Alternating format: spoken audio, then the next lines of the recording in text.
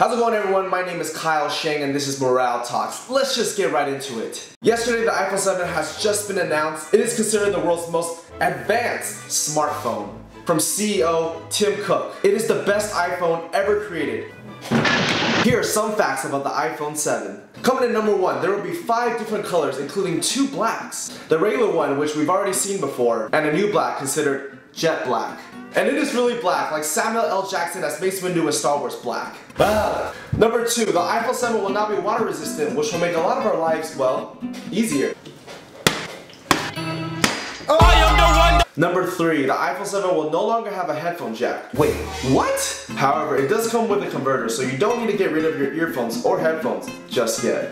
But you do have to make the decision of either charging your iPhone or listening to your headphones. Apple will release new wireless earphones called AirPods, which can only make me wonder how long it'll take before I lose one of them. Two days.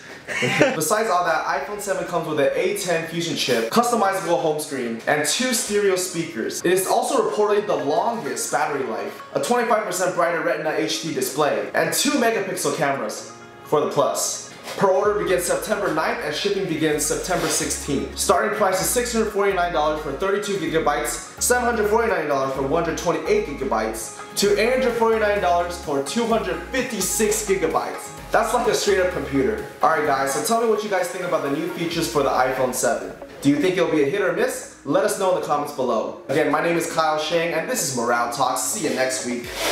Are you guys apple juice experts? No. Not really. We are with two apple juice experts. Are you an apple juice expert? No. Okay. Are you an apple juice expert? Okay, we got one apple juice. Wait, let's have one where I'm serious. Yeah.